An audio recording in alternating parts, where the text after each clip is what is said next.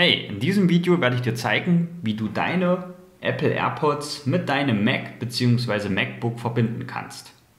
Zur Demonstration nutze ich einen iMac Ende 2015 mit der macOS Version 12.6.1 sowie die Apple AirPods Pro der zweiten Generation. Um die AirPods zu koppeln, klicke auf die Bluetooth-Systemeinstellung, indem du mit deiner Maus oben links in der Menüleiste das Apple-Logo anklickst, klicke hier auf Systemeinstellungen. Hier wählst du den Reiter Bluetooth. Sollte Bluetooth bei dir deaktiviert sein, kannst du das hier aktivieren. Nimm nun deine Apple AirPods, öffne das Ladecase.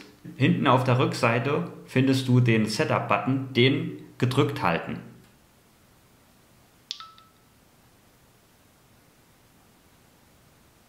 Na, du siehst, die LED blinkt. Sobald deine AirPods angezeigt werden, klicke auf den Button Verbinden.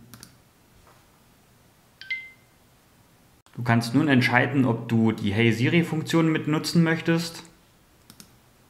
Mit einem Rechtsklick auf deine AirPods kannst du weitere Funktionen nutzen, so zum Beispiel die AirPods umbenennen, aber auch wenn du hier auf den Button Optionen klickst, kannst du weitere Funktionen und dementsprechend Optionen auswählen.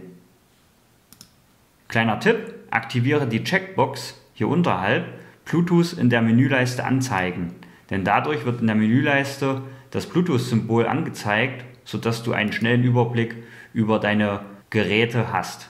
Du kannst nun deine Apple AirPods mit deinem Mac bzw. MacBook verwenden.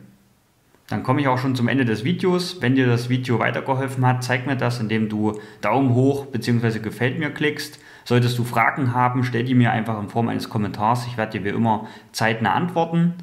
Abo nicht vergessen, die Glocke aktivieren und dann sehen wir uns definitiv im nächsten Video. Ich sage erstmal ciao und bis zum nächsten Video. Mach's gut.